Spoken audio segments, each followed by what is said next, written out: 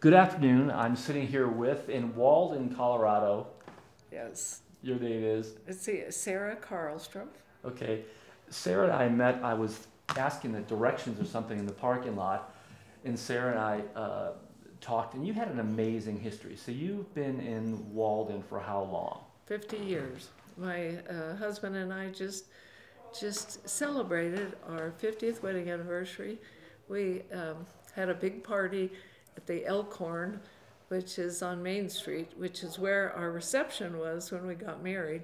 But it closed down in between. And but um, Jim Moore, this guy that came into our community and bought a lot of stuff, he bought it and he let us have it there because I had taught his daughter in fifth grade. So, so 50 years. Where were you born? I was born in Napa, California. Wait, well, you're from Napa? Uh huh. You yeah. went east. Well, yes. I, was, I, I went, I kept moving east because I was born in Napa because my dad was, it was after the war, but he was still in the service and he was stationed in Vallejo and they didn't have a hospital. Sure. So I was born in Napa. And then we moved to Arizona. And then I graduated from uh, high school there and two years of college. Then I kept moving, moved to Las Cruces, went to New Mexico State, got my teaching degree there. And then I moved to San Antonio, Texas, did my first year of teaching. Then I moved to Dallas, did four years of teaching, went to a rodeo in Ardmore, Oklahoma, and met a bull rider from Walden, Colorado. That's why I'm here. oh my God, that's a cute. That's a great story. That's a, to make a very long life short. That's, but then I started teaching here in 1974. But I was determined to teach because um, I was very, I loved it. And I, there was only one job available. And I told Gary, my husband, if I don't get the job, I'm not going to marry you yet, you know, until I, a job comes up. And, but I got the job, so here I am. And I taught here for 35 years. And when we were first met and spoke, what was amazing is you said you now have a meeting with uh, the newspaper editor later today, and he was your student. Yeah, I don't have a meeting with him, but I told, I told you that he, he doesn't read his text messages, but he must have if he called you, huh? He finally got in touch with me, yeah. Because he, he, he always tells me, don't don't write to me, just call me if you want me. But he was my student, and we're in the courthouse right now, and the assessor was my student. She was in my last class uh, in fifth grade, the treasurer and her deputy were both my students. Her deputy uh, just, she was my very, in my very first class who just turned, and they all just turned 60, who's, you said you did. And so you could have been in my class. The clerk is, uh, was also one of my students. And my doctor, who's in town, is one of my students. So they're everywhere. That's such in there. How many people in town? Oh, there's only about 900 in our town now. It's kind of fluctuates, you know, it's gone up and down, and you know, but at this time, yeah, there's only about 900. And this is uh, actually it's Walden, but it's also North Park. You know, this whole valley, if you take pictures of it, I was really shocked when I first came up here with Gary because I it was it's 8,100 feet and I was expecting pine trees and mm-hmm. like an aspen or a Steamboat Springs, but it's very flat. It's ranch land and it's surrounded by mountains, so they call it a park, a mountain park. And there's South Park, who has a cartoon, and we're North Park. We don't have a cartoon. That's I actually have driven through South Park many, many times. Well, so what was it like? You you you get married, you come here, you meet a bull rider, and you're we're how far north of uh, Steamboat Springs? We're what is it, an hour or so? It's about sixty-five miles. And we're about yeah. another hour from mm-hmm. Laramie. Yes. So this go, is the middle of nowhere. It is absolutely the middle of nowhere. Very small town, very little industry, ranching, tourists, but we don't have ski resort or anything like that. You know, good fishing, good hunting. We get a lot of hunters and a lot of fishermen, but as far as you know, if I if I hadn't have been a teacher, it would have been hard for me to find something you know to, to do. do. up here that I could make money at. Well, so I guess for my listeners and viewers, what was it like living, especially back in the day? I mean, now it's still it's still in the middle of nowhere, but back in the day, what was it like? I mean, you were born in Napa, which was wine country back then. I assume? Still correct? On what? Wine country. Yes, yes. What was life like here?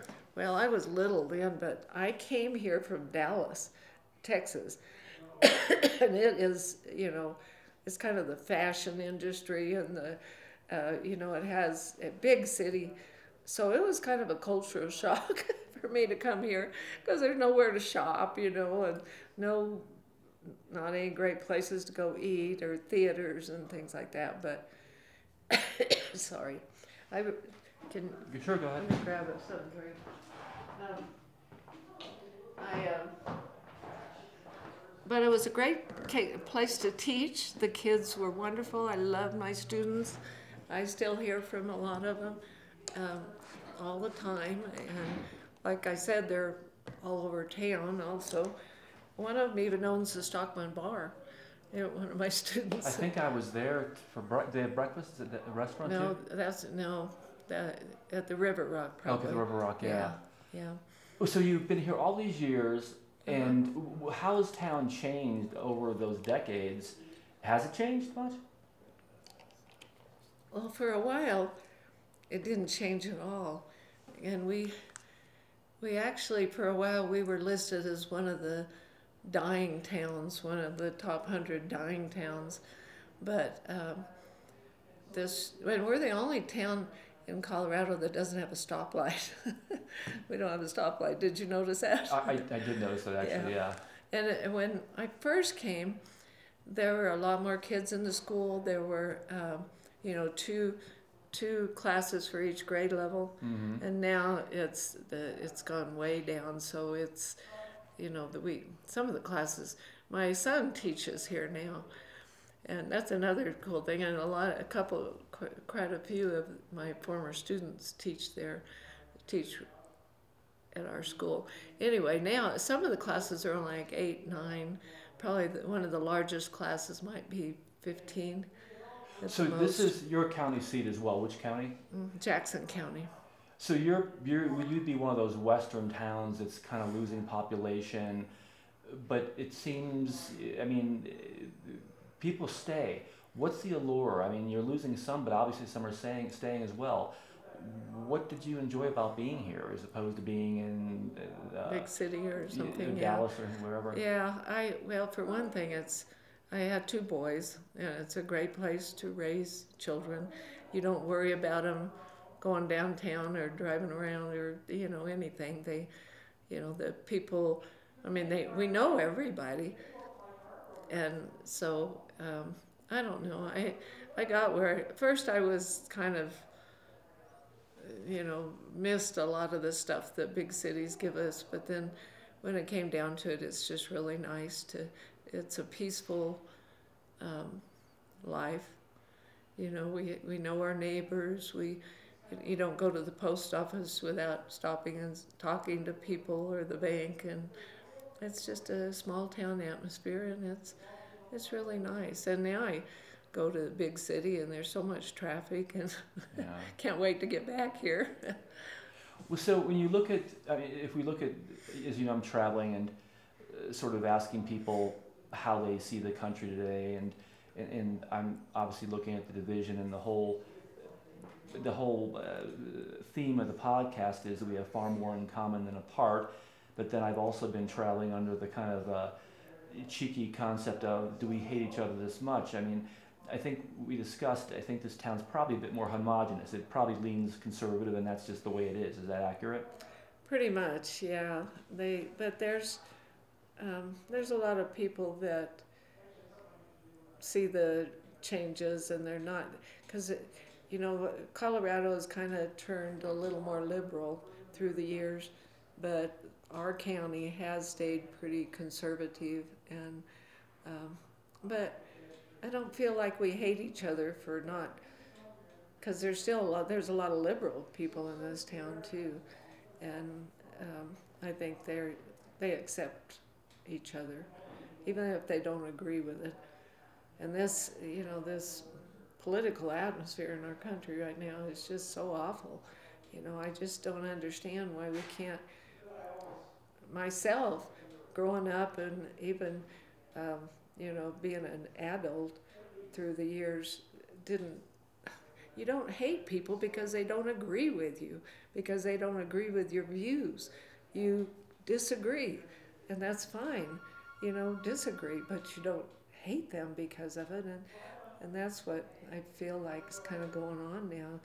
People are just, they say such hateful things about people they don't even know. Do you think, I, I've said for a long time that I think that uh, what, what larger cities provide and what social media does in a more dramatic way is there's no consequence for our words that, that are said. Uh, I mean, we don't know one another perhaps in these larger metropolitan areas or we're anonymous online or certainly not in the neighborhood. I mean, do you feel that in a small town like this, people are maybe better behaved for maybe the the social ramifications, but just because it's your neighbor and you care for each other? Yeah, I think that's a lot of it, and because because they do, they will probably be rep, you know, get some slash back if they do say things that are out of line, and so I think that kind of keeps them in line, you know, because they care what other people think about them, and they care what, um, you know, how other people feel about them, and they don't want. I don't know, but some people don't care, I guess. But I haven't really found it. We have a lot of really good people in our town, and um, at least they've always treated me really well. And and and when I first came up here, though, I was kind of.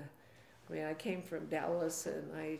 This was back when um, mini skirts, you know, and boots and hot pants we wore, and came up here, and I stood out like a sore thumb, because Gary brought my husband brought me up here, and you wouldn't believe the looks that I got, and because they they weren't dressing like that up here, and uh, but then so once they got to know me, you know, they accepted me, and and I was I was good and I've been here ever since, and I'm happy to be here. And That's a. I, I like that you went from. I mean, Napa's changed so much. The whole country's changed in the time frame we're discussing, and then Dallas has certainly changed. But but I think if you were to look outside and uh, look at the tenor of the country, and I mean, you've obviously gone into the urban markets, maybe wherever Denver or whatever. When you look at that now,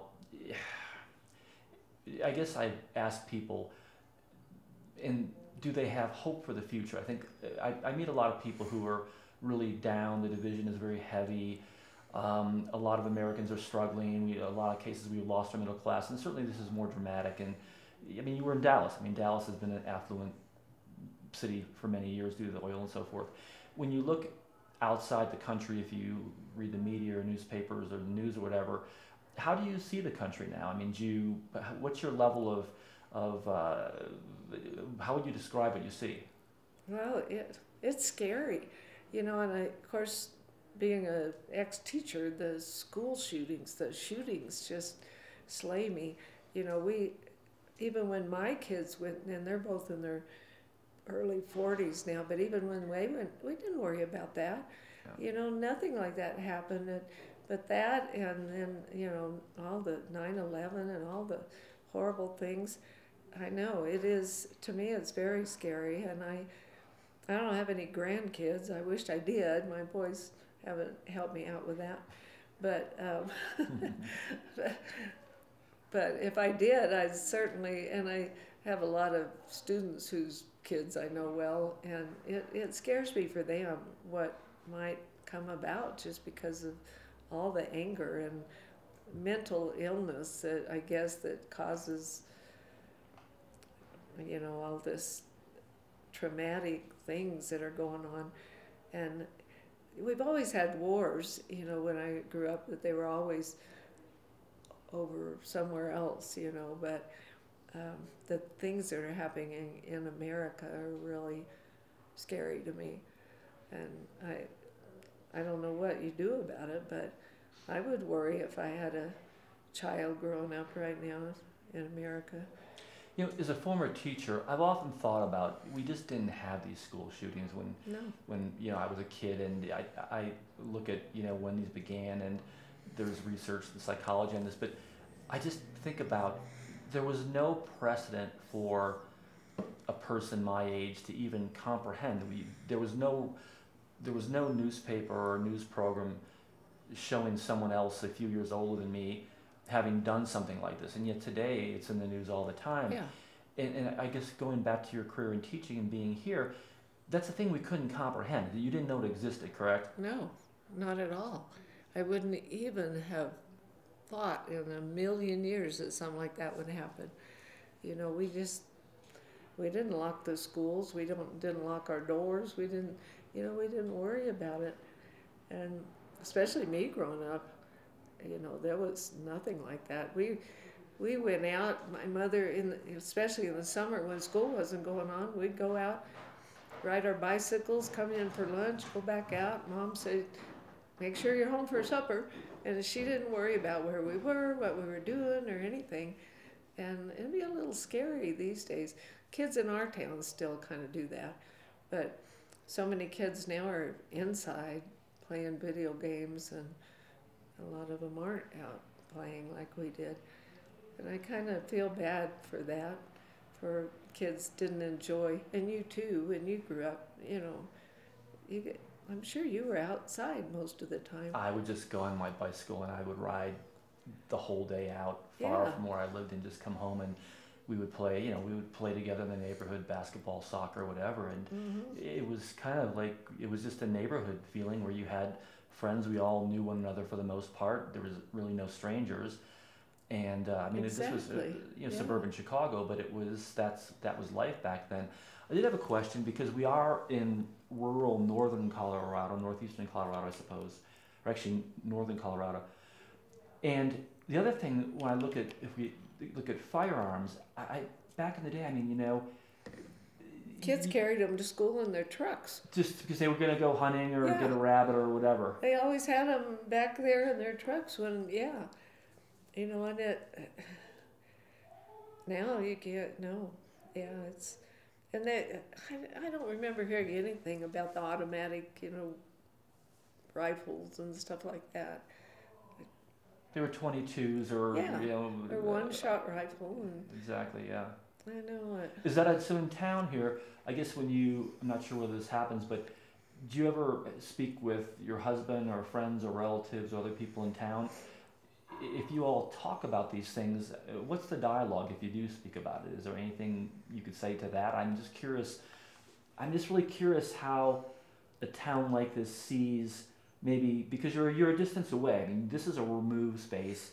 Mhm. The closest towns are not very big big cities. 65 miles is the closest town, and you're right, it's not very big. Laramie's probably the biggest one. Fort Collins is 100 miles, and that's, yeah, we're pretty isolated here. But, but hunting is a big thing, and, you know, most of the kids go hunting, you know, and they have guns, and um, I'm not sure what. So when, when, I'm not sure what your question was. Well, I guess to me, as I drove in, and I haven't, I think I drove this years and years ago when my kids were little.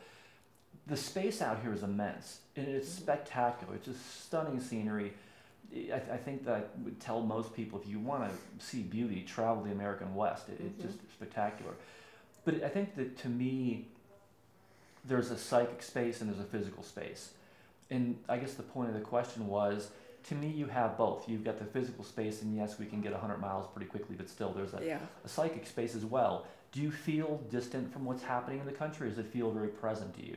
No, well, yeah, unfortunately, it's pretty present because of media and everything. You know, we, yeah, the news is always on us and social media and everything. Yeah, it's. I guess I guess maybe the answer is a little of both. I mean, we're we're in it because of the media and because, but we're away from it because we're so far up here. You know, where we don't we don't experience anything like that. You know, we haven't had any mass shootings or kids kidnapped or anything like that. Um, it wouldn't be hard probably for somebody to come into our town and kidnap a kid, but because the kids just run around everywhere, you know, but hasn't happened, thank God, and we hope that it won't ever happen, but um, I don't know. So I guess a little of both. We kind of we're kind of isolated that way, which is nice, but we can't help from being right in the middle of it because of the news and you know all the media. So given like you we're, we're kind of in that generational contemporaries, we have a similar kind of uh, timeline in ways. When you look at the country today, and of course back then we had the Vietnam War, we had we had all these, you know, the, we had the Cold War, et cetera, et cetera. Does that feel to you when you look back and you look at today? And of course, hindsight's difficult to go back in time, but do you feel like we're in a better place, a worse place? Are you concerned, hopeful? How do you? What's your overall feeling about how you feel about this time in history, both for the world and for the country? I do feel like it's a worse time, just because of all the anger and um, pandemic didn't help. You know, I think the pandemic brought a lot of. I don't know what it did. It just stopped a lot of stuff, but made everybody mad. I don't know. Even here? yeah. Well, not as much though. We did. We were lucky here because, in fact, my son, who I told you was teaching here, he's a big city boy, and he taught for four years in Prague, and he taught for two years in Mexico City. Then he taught in Denver, and he moved up here. Uh, when the pandemic was going on because it was so awful down in Denver. You know, he couldn't go out or he couldn't see his friends. He couldn't do anything. They were, you know, homeless were camping, you know, on the, they could camp, you know, here's the sidewalk and here's his apartment complex and there's that space between the sidewalk and the road and his there were just tents everywhere and it, I never thought he would ever live back here in this little town because he couldn't wait to get out of it. But he did come back because of the pandemic. But I, I do think it's worth worse just because of all the shootings and the, you know, so many things. And the anger. It just seems like people are angry. And sometimes I don't even know if they know why they're angry. They're just angry and they have so much hate for their fellow man that they don't even know. Like I told you earlier, a guy came in here and he just said he was, and I've told him before because I've talked to him before, and I said I don't want to talk politics, but he said something about the Democrats, and I said, I told you I don't want to talk politics, so you just need to leave. And he said, okay, but I just hate Democrats. And I went, what, who, which Democrats do you, who do you know that's Democrat? Who is it that you hate? You know, this could be your neighbor. You don't know for sure who's a Democrat or who's a Republican or what. You know, you can't you can't just hate someone because of their political affiliation. You know, it's like, and I and and I I've always been well. Right now, I'm unaffiliated because I I try to vote for who I think is going to do the best job. I don't care whether they're a Democrat or a Republican. I'm going to vote for the person that I want to vote for. So, and I've always been that way. Yeah, I say that you know, our, our neighbors are probably not our enemy, and it just and we discussed I think when we spoke outside that this wasn't the case in the past. We didn't have this politicization in every area of our li- life, and um, to me, I've been saying a long time. It's almost like it's it's a was a low grade fever that's become, you know, a, a, a raging fever, and uh, I, I, think that the mental health impact of yes. the fear, the distrust, the disdain, and uh, yeah, the discourse. I, I guess. I mean, the question: When I look at the way we speak, and you were a teacher, have you noticed? Certainly, I see this a coarsening uh, a lack of decorum, and these are big words that sound very prissy, but there was a certain uh, dignity in how we talked, I think, back in the day. I mean, without even knowing it. It wasn't like it was even a thing. We just didn't. Has that changed here at all, or do you notice that, or is it just sort of still been sort of a polite society here in, in your town? Well, I, I do think the kids going through our school system do not speak or write as well as they used to. Um, well, they especially write, you know, because there's so much computer mm-hmm. and everything, and they they don't know grammar. They uh, and they don't speak as well. I I do think that that has gone down, um, and I, I, yeah, I don't know about the dialogue or anything. It's it seems like it's I don't know. It does seem like it's took a bit of a dip. so yeah. Uh, I want to thank you for meeting with me. Uh, one last question, I suppose. Where do you find um, in your own life at this point? Um, where have you found uh, contentment and happiness and satisfaction and joy? I mean, in your life here in Walden, and what's been important to you? Family, friends. Um, I love music. I play the guitar, and I have a group that we sing different things. We laugh and say we sing for weddings, funerals, and bar mitzvahs, but we don't really sing for bar mitzvahs. But um, there's six of us. We're all getting older now. I love to dance. I teach line dance lessons to senior citizens, mostly ladies, but I have a few guys once in a while. And so things like that that I enjoy, but family, friends, loved ones, that's that's where I'm happiest, you know, spending time like that. Can I ask you a question? Mm-hmm.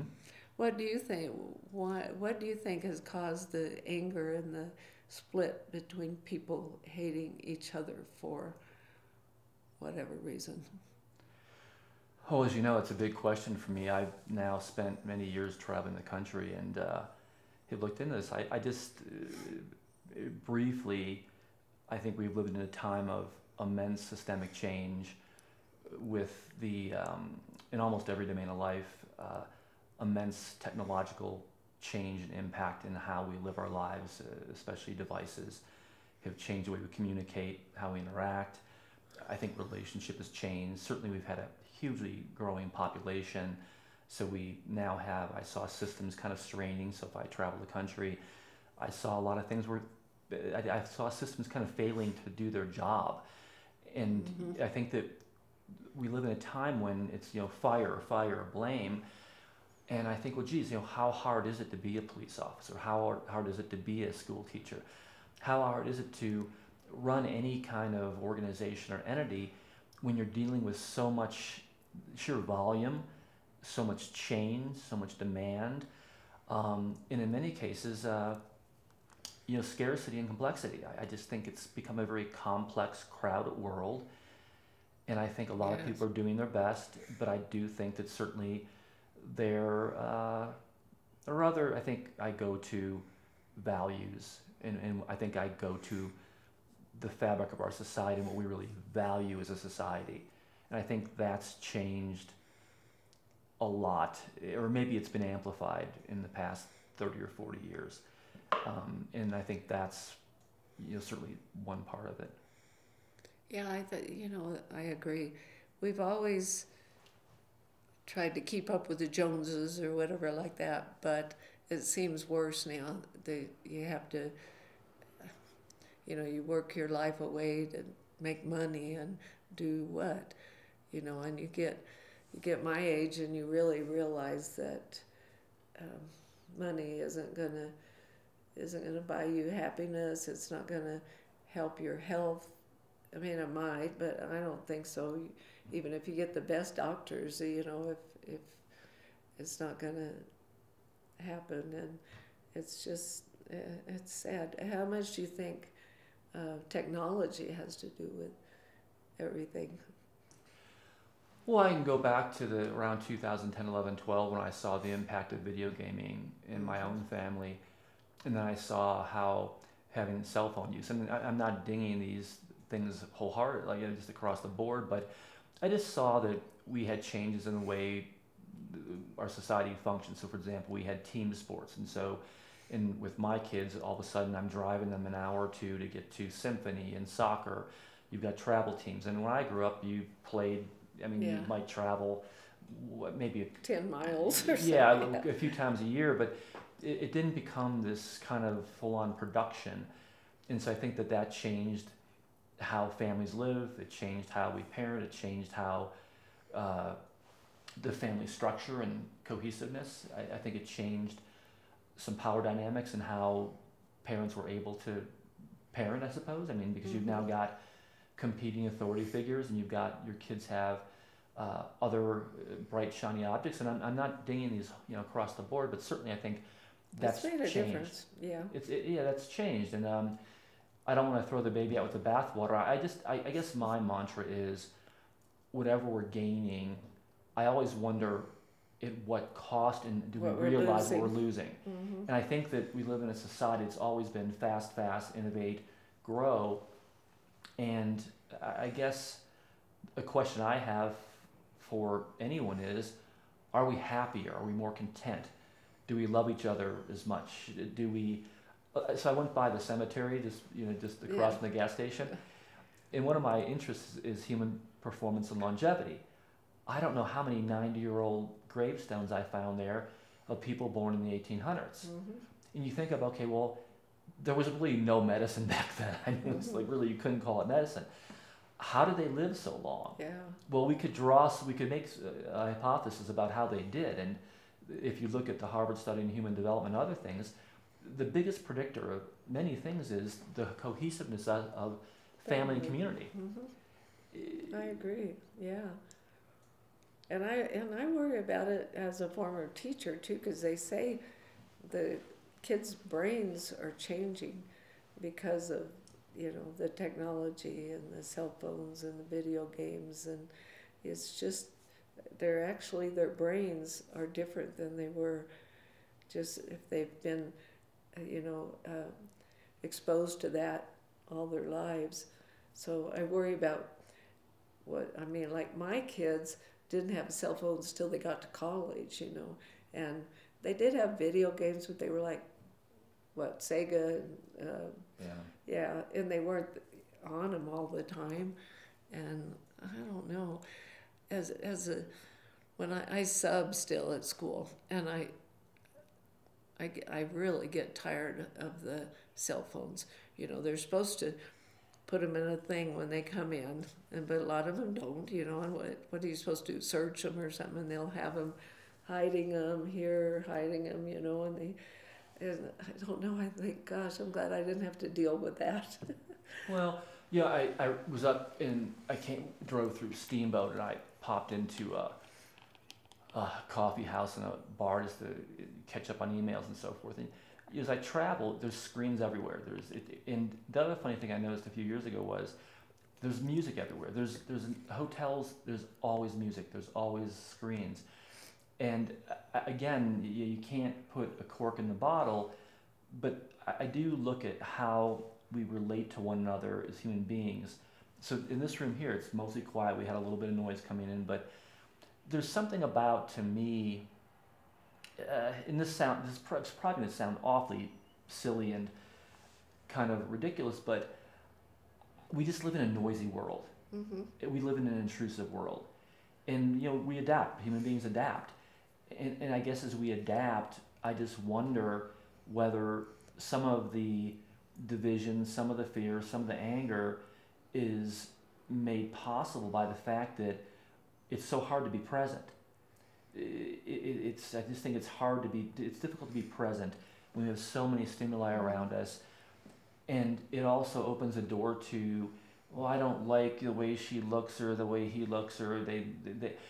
I just think it's it's right now if if we were to have a disagreement, there's nothing else distracting us here. We're Mhm. two people right across from each other. And I guess my question is, you know, what is the impact on this? Nothing's going to change. We're not going to stop this. But I guess. Is it going to get more so? And well, I, Yeah. with AI, yes. and sure so I, it I guess the is, question because is, with AI, and it's getting kind of scary. I um, that was the other reason I'm not sure I want to be a teacher because I was an English teacher too, and just having to decide whether the kids are stealing what they get, you know, from AI because you can just put in put in Abraham Lincoln write me an essay and it'll have it in three seconds or three minutes, maybe not three seconds, but yeah, or even a story, you know, give them a. But my son, who teaches English here, he's trying to figure out how to use AI to his advantage, you know, in the classroom, and which is good. I wouldn't know how to do that, but. well, I, I, I, do see on, on the more optimistic and I think invigorating side.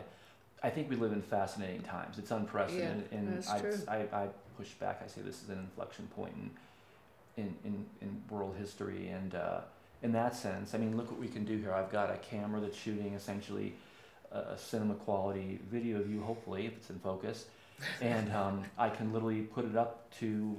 I couldn't have dreamt in my early career as a journalist and publisher to Yeah. get this to so many people potentially as I can today. And I guess that is the one constant is change.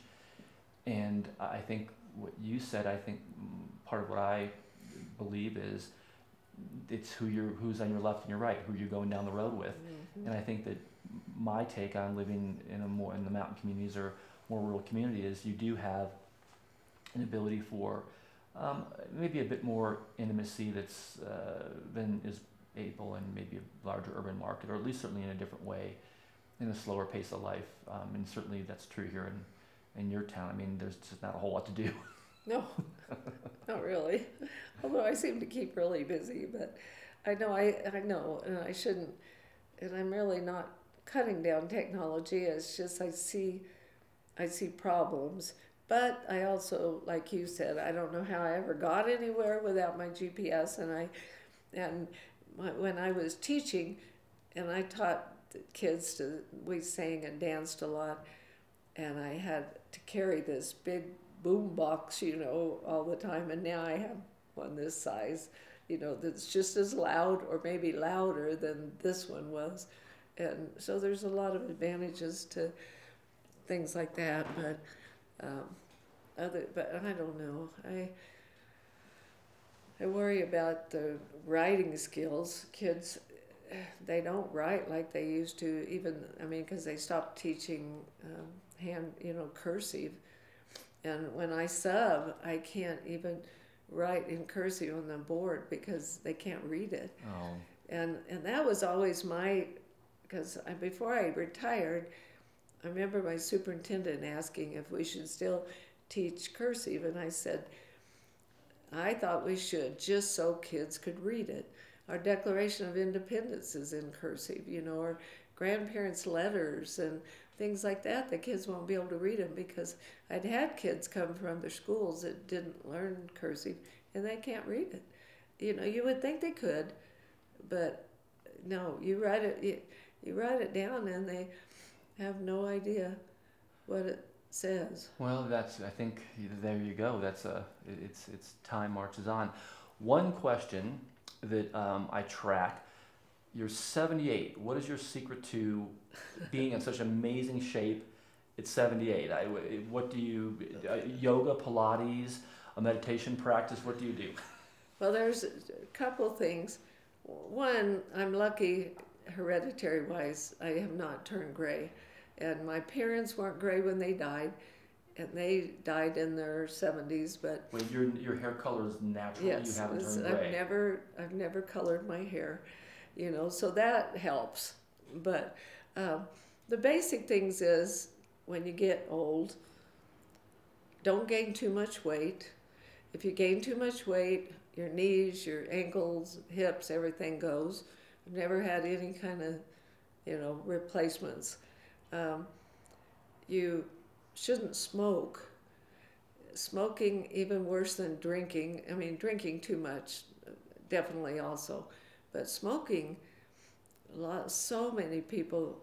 My husband and my my husband's eighty, and he's he gets around great too, um, but neither one of us have smoked. The ones are a lot of cousins and friends have gotten cancer at our age usually and die. And basically, uh, keep moving. You know, keep keep even if you kind of hurt, even if you have some arthritis or something, don't sit.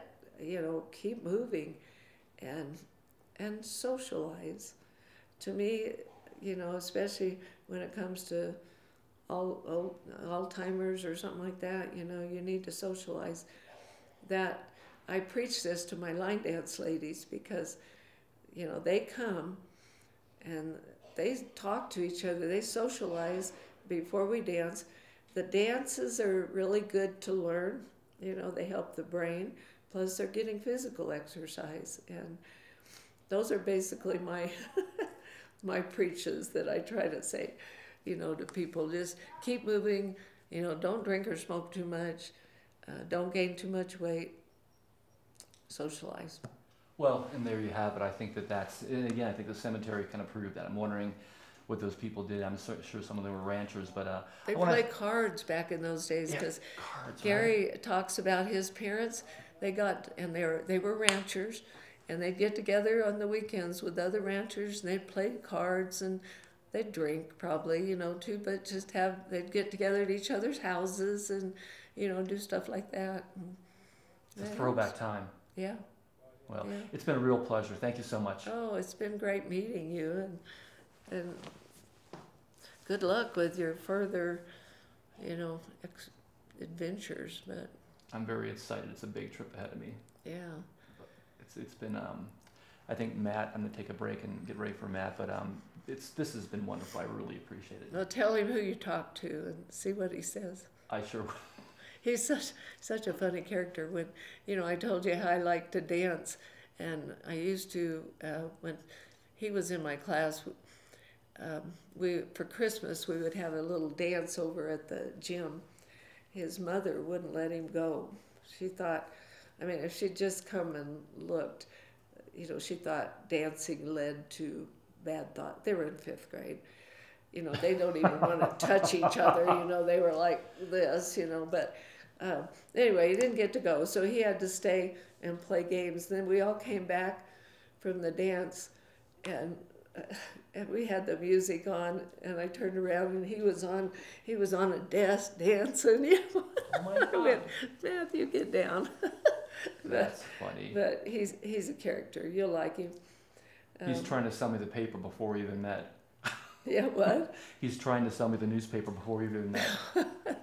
The whole paper. The whole yeah, paper. yeah. I know I it. think he yes. wants out of the newspaper he's, business. he's been trying he, he's been trying to get it sold he's ti tired of it you know i um, i told him from the beginning i appreciate if he hadn't bought it we wouldn't have had a paper in our town you know and, a lot, and don't tell him this but a lot of people criticize him which you do people do because they do that but i said you know i told him don't listen to it we we appreciate you buying it because if we hadn't had it, if you hadn't bought it, we wouldn't have a paper at all.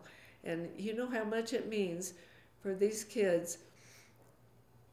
Like if you if they win the spelling bee and they're on the front page of the paper, doesn't matter. It's a little podunk paper. They're on the front page of a paper, and it, the basketball kids, the ba- volleyball kids, you know, it's wonderful to have them. And I have a whole scrapbook full of my kids through the years from on the Jackson County Star. That's and, and I'm in a lot of them too because I, you know, through the years teaching, I was always doing sponsoring stuff or doing something, and yeah, it's it's great. You'll like meeting him, but you can ask him about me. well. I'm, I'm looking forward to uh, talking with him. Well, I better knock this down. Um, Where, can you give me your info so I can try to, how did, can